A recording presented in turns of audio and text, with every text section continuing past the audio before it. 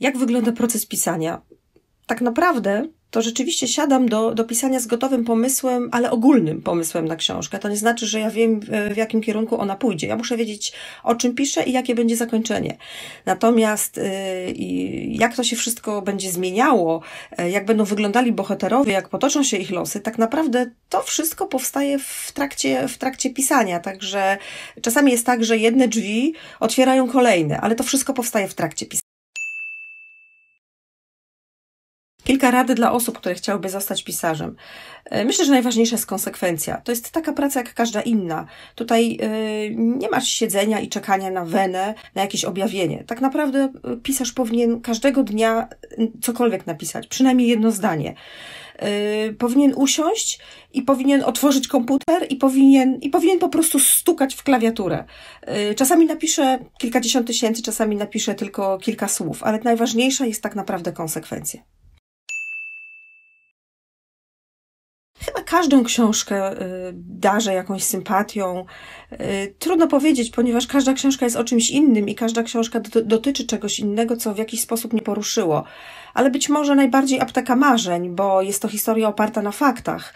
Y, miałam kontakt z, z tą rodziną, z tą dziewczynką, którą, którą opisałam i to jest, to był bardzo osobisty kontakt i myślę, że też ta książka dlatego jest bardzo osobista i z tego co wiem pomogła też wielu ludziom, dlatego bardzo ją lubię.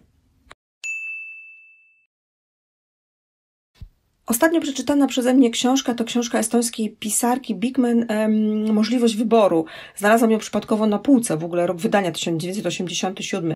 Fascynująca historia o kobiecie, która postanowiła e, żyć według własnych e, zasad. Z jednej strony żyje według ogólnie przyjętych norm, ale tak naprawdę gwałci je niemal każdego dnia. Wymyśla sobie rodzinę, ale na jej, na jej zasadach. I jak sama mówi, e, łatwo się z kogoś śmiać, dopóki sami sobie nie uświadomimy, w jakim świecie bez sensów żyjemy. Książki, które mogłabym polecić. Nie wiem, być może to jest teraz taki okres, kiedy potrzebujemy książek, które nas, e, które nas rozbawią, które wprowadzą nas w dobry nastrój. Dlatego zawsze będę polecała Borisa Wiana i Eduardo Mendoza, ponieważ ja uwielbiam pur nonsens. E, kiedy czyta się tę książkę, to rzeczywiście człowiek, e, człowiek cały czas się śmieje. To są takie czyste endorfiny pur nonsensu. Satyra w najlepszym wydaniu. Być może właśnie tego teraz najbardziej potrzebujemy.